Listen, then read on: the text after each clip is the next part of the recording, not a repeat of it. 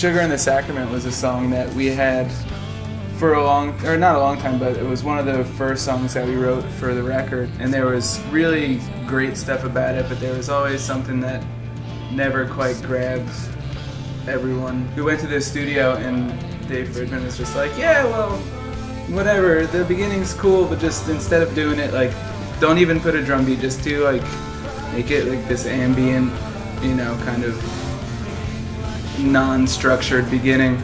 The way that affected the rest of the song made such a huge difference. Yeah, just sure. being able to write a song that was that different for us, and it just seemed like it opened up a, a big door for us mentally.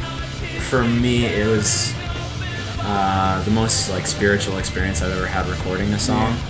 Really, the whole making of it kind of forced you to confront that thing about music that you can't talk about.